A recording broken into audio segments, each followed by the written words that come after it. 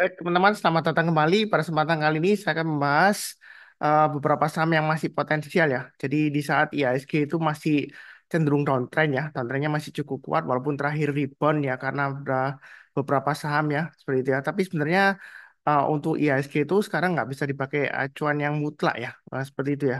Karena sebenarnya lebih baik kalau saran saya lebih baik fokusnya ke portfolio masing-masing dan juga saham-saham yang ada di watchlist kalian ya, seperti itu ya. Karena uh, kalau kita lihat uh, pergerakan IHSG di sini ya, um, ini dia sudah terbentuk ya sebelumnya double top dan dia masih turun. Ini masih testing area 7000 ya. Jadi kalau kita perhatikan dari uh, saham-saham market weight-nya dari um, IHSG itu sebenarnya nggak seberapa balance ya dalam arti uh, dia um, bobotnya itu kalau kita perhatikan sebentar saya sharekan ya. Nah, untuk indeksnya Nah, ini em, di em, biasanya yang fluktuasinya tinggi itu manipulasi eh, untuk kenaikannya ya. Biasanya itu brand AMMN, terus kemudian TPIA, sebenarnya seperti itu ya. Jadi em, sebenarnya bukan benar-benar acuan yang mutlak. Berarti kalau berarti ya ISG-nya turun, berarti semua marketnya jelek. Enggak ya, seperti itu ya. Jadi em, biasanya kalau ya ISG-nya masih bearish, kita lirik yang second liner atau third liner ya, seperti itu ya. Jadi eh, saya akan bahas langsung mengenai sahamnya. Yang pertama saya, saya bahas adalah untuk BRMS. Jadi BRMS ini kalau kita lihat asing secara uh, trennya masih akumulasi buy ya seperti itu. Walaupun sebelumnya uh, sempat sell, kemudian yang terakhir dia ada uh, peningkatan lagi untuk buy-nya asing ya seperti itu. Tapi di sini saya nggak lihat asingnya, saya lebih fokus ke pergerakan harga sahamnya kepada trennya ya seperti itu. ya. Kalau kita lihat uptrendnya BRMS ini masih bagus dan kalau yang ngikutin uh, Sunar Share Trade ya, grup private trading saya, ini BRMS sudah sudah saya sebutkan sudah lama ya beberapa minggu yang lalu dan juga saya sudah saya bahas di uh, video juga ya. Jadi untuk BRMS ini uh, saat ini dia testing resisten 460. Yang sudah punya untuk BRMS pasang aja trailing stop atau stop loss. Anda bisa pasang trailing stopnya di 420, maksimum stop lossnya di 380 ya. Kalau yang mau buy on weakness sebelumnya saya gambarkan di 330 dan 300-an ya. Nah, ini saya uh, naikkan karena dia uh, sudah mulai rebound lagi. Di sini kalau yang mau buy on weakness Anda bisa tunggu di 380, kurang lebih nanti sekitar MA 20-nya ya kalau dipotong ya. Jadi kalau turun di banyak 380 kita jangan langsung buy. Tunggu kalau misalnya BRMS itu berhasil rebound mantul ke atas 380 menjelang penutupan atau besok paginya kita barusan buy ya. Jadi kalau turun jangan langsung buy. Nah, kalau misalnya buy on weakness di bawah nggak dikasih ya, satu 2 3 ini areanya. Ya, kita boleh buy high sell higher. Kalau kita lihat high-nya hari Jumat 456. Jadi kalau dia berhasil naik ke atas 456 untuk BRMS ini, uh, Anda boleh buy, yang belum punya, kalau mau average up boleh, naik ke atas 488, swing high-nya yang terbentuk tanggal 6 November 2024, Anda tambah lagi boleh target price berikutnya di 540 itu untuk BRMS. Jadi untuk BRMS ini uh, uptrend-nya masih cukup bagus ya, masih cukup kuat. Nah, baiknya bertambah aja, jangan lupa pasang trailing stop-nya atau stop loss-nya. Ya, kurang lebih seperti itu cukup. Berikutnya untuk brand. Jadi untuk brand ini memang kalau kita perhatikan tiba-tiba rebound Pak Sunar, volumenya naik ya, walaupun nggak setinggi uh, sebelum-sebelumnya ya. Ini masih uh, testing MA5-nya ya. Sebentar lagi mungkin kalau besoknya masih ramai ya dia breaksi breakout. Memang sebelumnya ada yang tanya ke saya, Pak Sunar, uh, brand itu bagaimana? Ya kalau tanya saya, ini kan memang um, dua hari yang lalu kalau salah saya tanya ya. Ya saya bilang kalau dia lower low ya um, jangan lupa pasang stop lossnya kalau misalnya terlanjur. Karena dia uh, sudah terlanjur loss ya. Lossnya lumayan dalam sekitar 12% atau 13% gitu ya. Jadi ya memang cara saya sih memang jual. Nah mungkin um, kecewa ya. Bapak Sunar saya jual kok ternyata rebound atau mantul ke atas. Ya pada awalnya ya Anda harusnya membatasi uh, loss Anda dari garis-garis yang sudah saya berikan. Jadi misalnya kalau Anda punya um, average-nya di 7250 ya kalau dia turun di bawah 7250 Anda kurangi posisi ya. Turun bawahnya 6950 Anda jual dulu semuanya seperti itu. Atau Anda jual bertahap ya seperti itu ya. Jadi kalau misalnya kena uh, garis-garisnya ya Anda jual dulu nanti kalau sudah berhasil rebound mantul ke atas kita berusaha buyback. Nah, kalau sudah turun dalam ya saran saya biasanya sih uh, kalau dia lower low ya jual sebagian. Tapi perkara dia naik lagi apakah berarti saran saya salah atau opini saya salah ya. Sebenarnya sih ya kalau kita jual saham ya kemudian dia besoknya naik atau dua hari kemudian naik belum tentu analisa kita salah ya karena kita memang nggak bisa mengatur market. Yang penting adalah kita pasang trailing stop atau stop loss itu sering kali saya sebutkan. Jadi kalau sudah saya garis uh, gambar, bantu gambarkan garis-garisnya Misalnya Anda mau buy untuk brand besok, boleh ya, karena dia sudah mulai naik atas MA20-nya. MA20-nya memang sideways. Ya, tapi jangan terlalu banyak, karena dia sebelumnya dia lower low ya. Dia breakdown hanya satu hari aja, dia rebound naik kencang hari Jumat ya. Tanggal 8 November 2024 dia rebound kencang. Kalau mau buy boleh, tapi banyak bertahap aja, naik ke atasnya 6, eh, maaf, naik ke atasnya 7025 ya. Hanya hari Jumat kita boleh tambah lagi average up berikan ke atas 7250 kita tambah lagi maka di sini ada swing high yang uh, akan dites sekitar area di sini ini 7 sebentar saya magnetkan dulu supaya pas di sini areanya sekitar 7850 ya swing high sebelumnya terbentuk tanggal 23 Oktober 2024 jadi kalau dia breakout ke atas 7850 yang mau tambah lagi atau average up silakan. Jadi kalau yang uh, mengikuti saham uh, profit ya channelnya eh, channel saya ya harusnya um, gampang ya seperti itu ya. Jadi tinggal ikutin aja. Kalau dia naik ke atas 6375 karena garisnya sebelumnya kan di 6375 Anda boleh buyback naik ke atas 6700 tambah lagi. Nah di sini juga sama. Kalau dia naik ke atas 6950 atau naik ke atasnya 7025 hanya hari Jumat ya kita boleh buy yang belum punya kalau mau tambah lagi average up boleh kalau yang sebelumnya sudah cut loss kalau mau fight back boleh tapi jangan lupa buynya bertahap tetap pasang trade stop stop lossnya. Ya seperti itu ya. Memang brand ini apakah masih bisa lanjut lagi? Ya ya masih ada harapan ya selama dia masih bertahan di atasnya 6375 ya untuk brand kurang lebih cukup.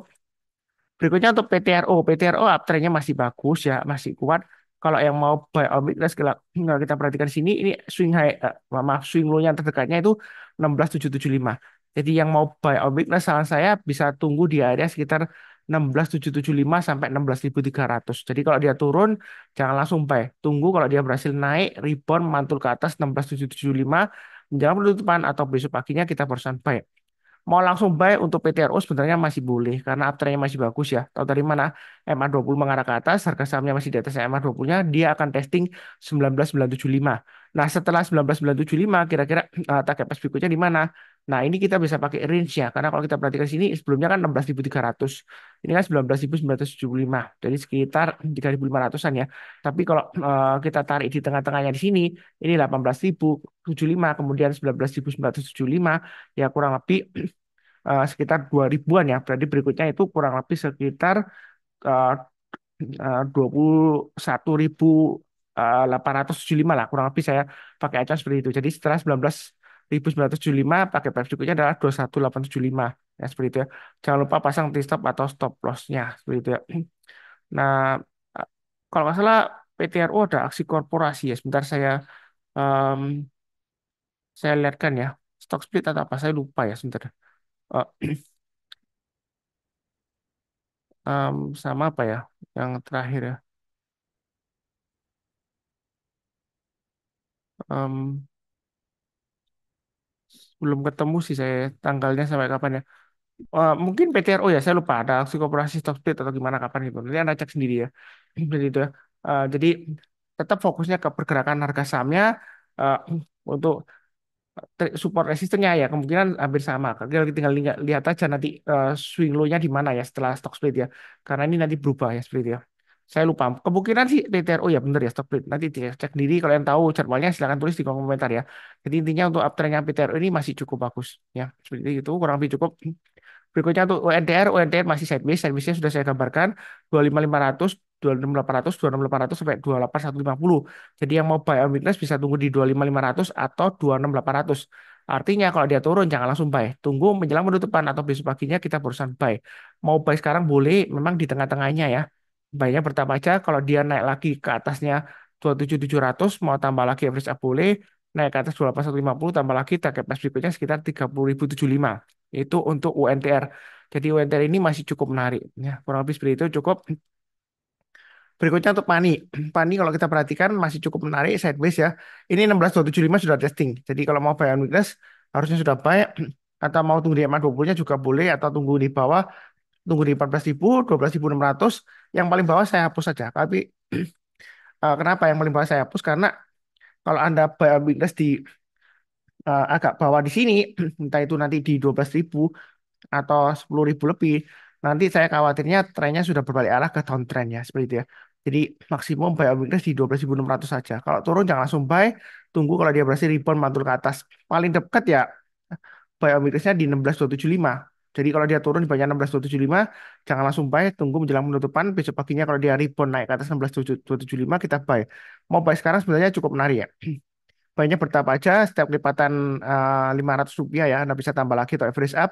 Target price dekatnya 18.000. Kalau dia breakout ke atas 18.800, boleh tambah lagi average up. Dia akan menguji level 20.000 dan 22.000. Jadi paninya, pani ini uptime masih cukup bagus, masih cukup strong. Ya, kalau habis seperti itu, uh, cukup. Berikutnya untuk tins. Tins juga masih sama, uptime masih bagus. Memang menyebalkan ya kadang dua hari candle, candlenya hijau tinggi, kemudian besoknya langsung merah dalam, hijau, merah, hijau, merah, hijau, merah, konsolidasi. Jadi kalau seperti ini Anda bisa tunggu uh, buy on weakness di area 1295 ya, atau 1370. Artinya buy on weakness itu kalau turun jangan langsung buy. Tunggu jika menjelang penutupan atau besok paginya dia berhasil rebound mantul ke atas kita persen buy. Nah kalau nggak dikasih kita buy high sell higher ya. Jadi kalau dia berhasil naik ke atasnya, kalau kita lihat high-nya hari Jumat tanggal 8 November itu di 1530, kalau dia berhasil naik ke atas 1530 kita buy atau naik ke atas 1575 kita buy ya seperti itu ya. Jadi kalau saya gambarkan di sini garis-garisnya 1575, kemudian berikutnya lagi saya uh, ambil kelipatan 100 ya karena sebelumnya dia kurang lebih kelipatan 100 ya. 1370 1470 ya ini 1570 ya. Tapi dia hanya di 1575 ya kurang lebih lah ya. Kemudian berikutnya 1675 jadi untuk uh, tins ini strateginya kalau dia breakout ke atas 1575 yang mau buy high sell higher silakan mau tambah lagi average up silakan. Jadi buy on breakout ya. Kalau toh kalau misalnya takut ya tunggu aja buy on weakness di tiga kotak yang saya kotak ini nih ya. Yang paling bawah saya hapus. Kalau dia turun di bawah 1160 kemungkinan besar dia balik arah downtrendnya jadi kalau uh, mau buy on weakness boleh tapi jangan nawar terlalu ke bawah kalau nawarnya terlalu ke bawah uh, nanti uh, dia malah berubah arah menjadi downtrend ya untuk tins ya gitu ya. Jadi maksimum biometris di 1160 aja ya. Ya kalau enggak ya 1295 lah. Ini karena area sebelumnya dia tertahan di 1295. Mungkin kalau 1160 terlalu jauh ya, agak risiko. Jadi mungkin di 1295 aja biometrisnya maksimum. Kalau nggak dikasih kita high layer. Ya kurang lebih cukup. Kemudian berikutnya untuk DKFT ini uptrendnya masih cukup kuat, masih strong kalau kita perhatikan. Ini dia akan menguji swing high-nya yang terdekat di sini 268. Kalau dia breakout ke atas 268, kira-kira target price berikutnya di mana? Ya berkaca dari sebelumnya di sini ya. Untuk di KFT 242, kemudian uh, 268, berarti sekitar 26. Berarti kalau dia naik lagi, ini kemungkinan besar ya sekitar 290-an. Ya, 290, kemudian uh, berikutnya lagi 310. Itu kurang lebih trading range-nya untuk di KFT ya. Jadi kalau mau buy sekarang boleh, uh, naik lagi ke atasnya 268 tambah lagi 258 ya atau 268 sekalian breakout boleh tambah lagi atau average up target price berikutnya di 290 dan 310 tetapi kalau misalnya yang takut uh, tunggu buy on weakness ini ada bisa buy on weakness di area yang saya gambarkan sini ada dua area ya yang agak resiko 167 karena masih terlalu jauh di bawah ya jadi kalau dia turun lagi di bawah 167 ya berarti jangan buy on weakness karena dia kemungkinan sudah selesai uptrendnya jadi sudah downtrend. Kalau Anda masih ngotot terus buy, nanti ceritanya Anda ke bagian cuci piringnya. Entah ini ada aksi korporasi atau akuisisi atau repo, saya nggak tahu ya. Uh, silakan cek beritanya. Ya kalau saya sih fokusnya pada trennya aja, price actionnya.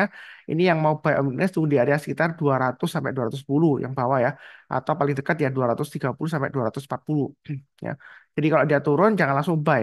Tunggu kalau dia berhasil rebound, mantul ke atas, menjelang penutupan atau besok paginya kita baru sampai. Atau kita buy high sell higher. Ya, kalau habis seperti itu untuk DKFT cukup berikutnya untuk Dewa. Dewa kalau kita perhatikan ini testing MA20-nya. MA20-nya mengarah ke atas, harga sahamnya sudah ditutup di atas MA20-nya, kesempatan untuk buy, buy on weakness di MA20-nya.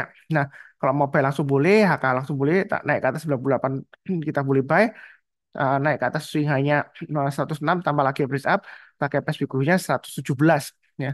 Jadi yang mau buy on weakness uh, kita bisa buy on weakness di 86 sampai 90. Artinya kalau turun jangan langsung buy, tunggu kalau dia berhasil rebound mantul ke atas kita barusan buy. Ya seperti itu ya. Cukup. Berikutnya untuk INDF. INDF ini cocok bagi orang yang suka scalping buy high sell higher. Ya, kalau Anda mau buy on weakness untuk uh, eh, INDF Anda bisa tunggu di MA20-nya kurang lebih sekitar area 7.500 atau maksimum kalau mau buy on weakness 7.100 sampai 6.900. 6.900 ini uh, support psikologis untuk investor ya. Jadi kalau dia turun ditutup di bawahnya 6.900 lebih baik jual dulu semuanya untuk INDF ya. Memang INDF ini masih strong. Nah, sampai kapan naiknya?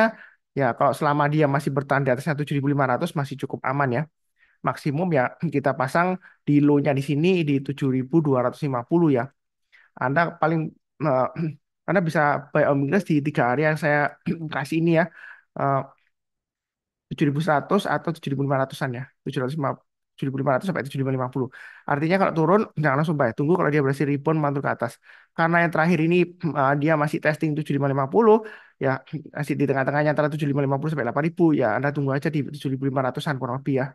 Nah, kalau misalnya nggak dikasih, kita buy hasil higher. Kalau dia berhasil naik ke atasnya 7.900, kita boleh nyicil buy atau average up kalau mau. Pakai pas berikutnya, kalau dia sudah berhasil breakout ke atas 8.000, tambah lagi.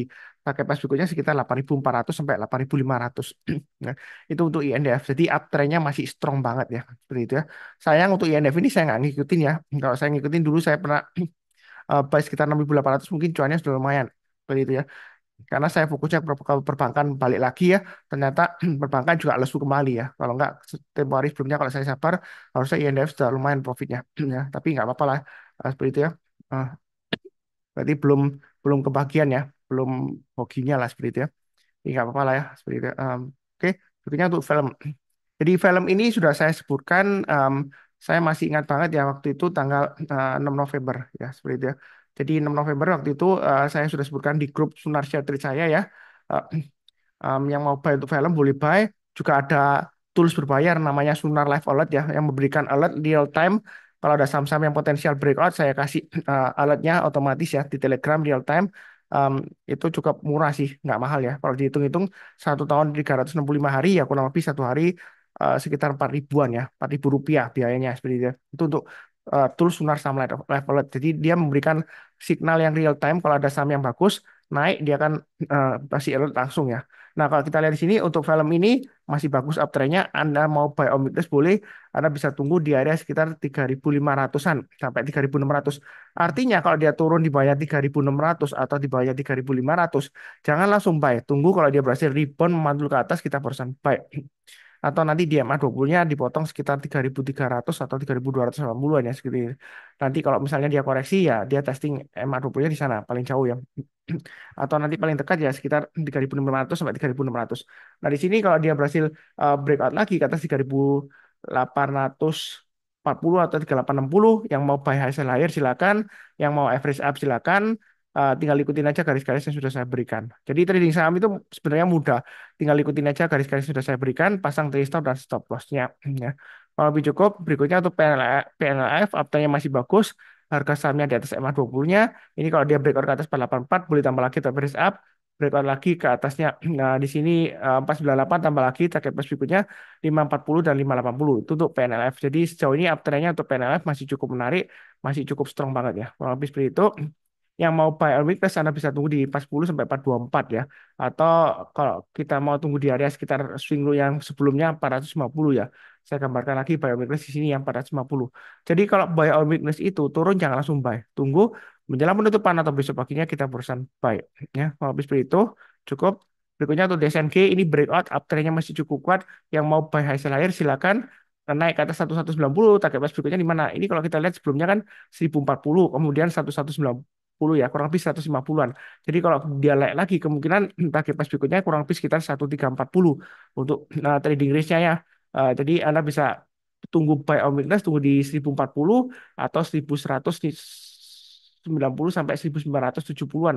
Nanti kemungkinan dia akan testing MA20-nya ya. Jadi di area saya kotak ini biasanya untuk buy on weakness. Cuman buy on weakness tunggu di bawah ya. Kalau dia turun di bawahnya 968 itu maksimum ya kalau mau buy on weakness. Kalau tunggu di turun di bawahnya 968 lebih baik jual dulu semuanya. Jangan buy on weakness karena takutnya trennya sudah selesai dia balik arah entah itu nanti sideways atau downtrend ya. Begitu ya. Ya.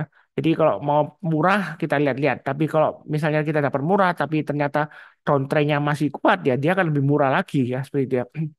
Jadi uh, saya fokus ke trennya. Kalau kita lihat di sini uh, high-nya di 1215. Kalau dia berhasil breakout ke atas 1215, Anda boleh buy, buy hasil akhir target price berikutnya di 1340 itu untuk DSNK. Ya kurang lebih seperti itu uh, cukup ya. Oke, berikutnya untuk DSNK. Ya, maaf untuk HMT, HATM. Kalau kita lihat di sini untuk HATM kalau kita lihat uh, uh, ini area garis-garisnya ini hanya di 292 ya. Uh, swing low-nya di sini uh, sekitar area uh, 304. Kemudian ini resisten yang dia testing sekitar area 316. Kalau dia breakout lagi, target pas berikutnya ini uh, saya bikin range-nya aja ya tiga, sekitar 330 Nah, seperti itu ya jadi setelah 316 330 Em, setelah 330 ya kemungkinan besar sekitar 354 lah 350 lah ya begitu ya jadi trading range sudah saya gambarkan Anda yang mau buy or weakness Anda bisa tunggu di area sekitar MA20 nya nanti kemungkinan di sekitar 290 sampai eh, 298 lah ya seperti itu ya. 290 sampai 298 artinya kalau dia turun jangan langsung buy ya. Tunggu kalau dia berhasil rebound mantul ke atas kita barusan buy.